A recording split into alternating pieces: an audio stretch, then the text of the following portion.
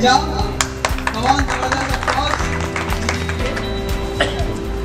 my name is Kamaljeet Singh मेरा नाम कमलजीत सिंह है।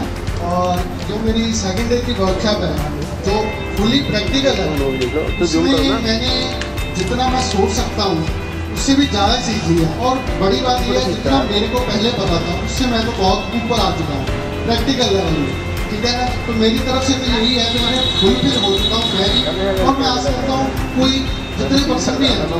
कोई भी ऐसा नहीं है जिसमें कुछ भी डाउट हो यार ये कैसे हुआ, वो कैसे हुआ, सभी ने अपने डाउट क्लियर कर। ठीक है? तो मेरे लिए तो वो सेटिस्फाइड है। Thank you